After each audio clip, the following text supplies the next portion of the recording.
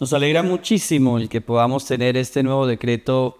eh, del Ministerio de Educación, en principio para eh, aclarar muchas cosas con lo que significan los registros calificados. Creo que es de una gran importancia tener este nuevo decreto porque de verdad eh, nos lleva a clarificar cosas en detalle de los registros, modalidades, acreditación de alta calidad y registros, combinación de modalidades, procesos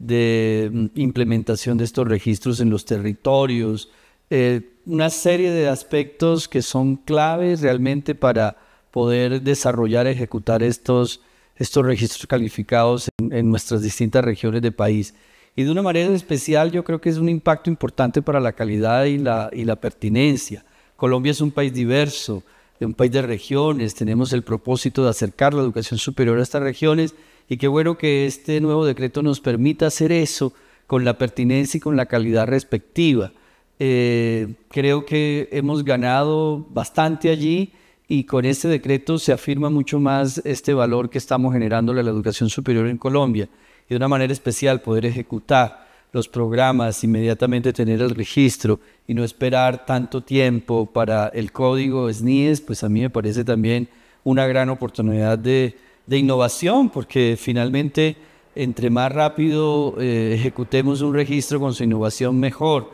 para que el tiempo no sea el enemigo. Así que felicitaciones al país, al Ministerio de Educación Nacional, a todos nosotros, las instituciones, porque avanzamos, avanzamos en esta construcción conjunta. Colombia, potencia de la vida.